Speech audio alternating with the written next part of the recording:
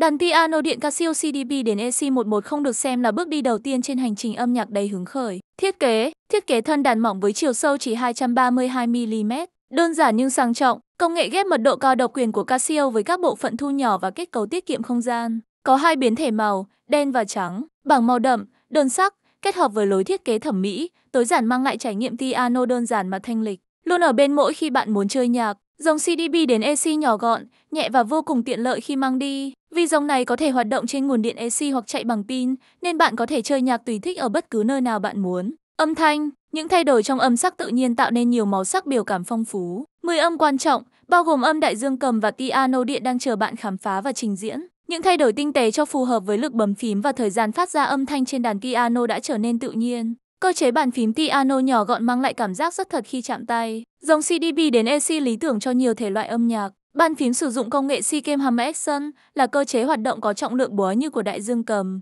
Cảm nhận độ nhạy của phím đàn trong mỗi lần chạm. Lớp phủ mịn màng trên bề mặt của phím đàn giúp chống trượt do mồ hôi và các phím mang lại cảm giác thoải mái cho đầu ngón tay ngay cả khi chơi trong thời gian dài.